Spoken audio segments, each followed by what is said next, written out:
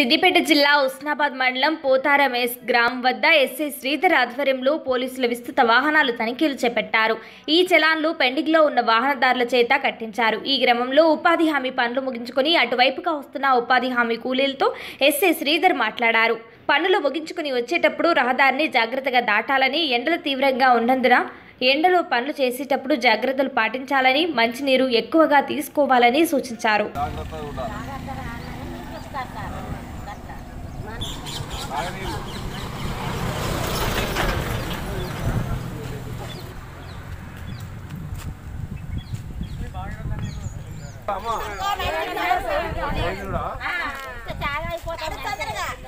పోతారు మళ్ళీ రిటర్న్ ఎప్పుడు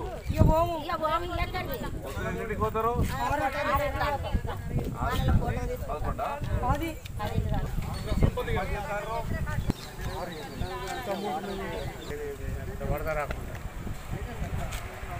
కనకాల రాళ్ళేసి పెడితే బాగుంటుంది ఇంకా.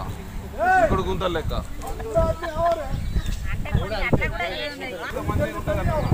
పనికి ఫలితం ఉంటుంది ఓకే అమ్మా జల్దీ జల్దీ అవు